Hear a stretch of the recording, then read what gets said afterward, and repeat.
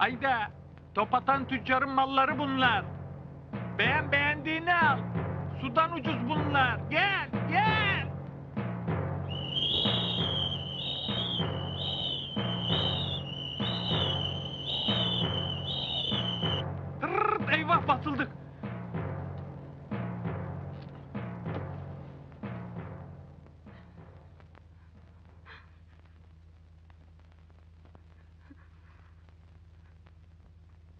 Gittiler mi?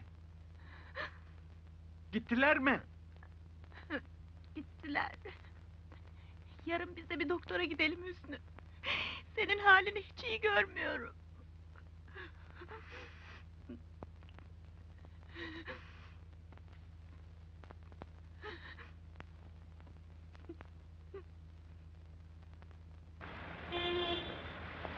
Doktor yakın mı?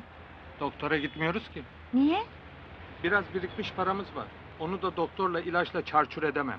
Gazetede ilanını gördüm. Okula yakın evler yapan bir kooperatif var. Ona gireceğim.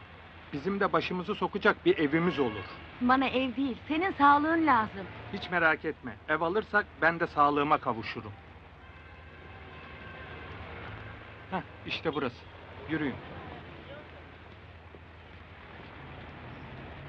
Peşinat olarak 2 milyon alıyoruz. Ama madem öğretmensiniz, e, sizin için bir buçuk milyon olsun.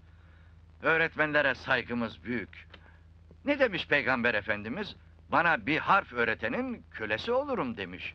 Sonra aylık bonolar 250'şer bin lira. İki yıl sonunda daire teslim. Kızım sen bir kontratla bonoları hazırla. Baş üstüne efendim. Eviniz iki oda, bir salon, çift tuvalet. Nasıl hanım? Hem de çift tuvaletliymiş. Bilmem ki. Biraz pahalı değil mi? Ya pahalı olur mu hanımefendi? Ayrıca kuracağımız sitede bütün sosyal tesisler de var. Buyurun, Hı hı. siz? Sağ ol.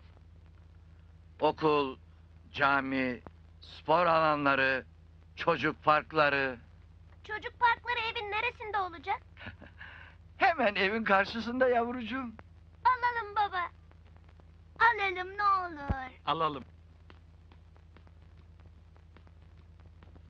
Bonolar hazır efendim. Şuralara bir imza atın lütfen.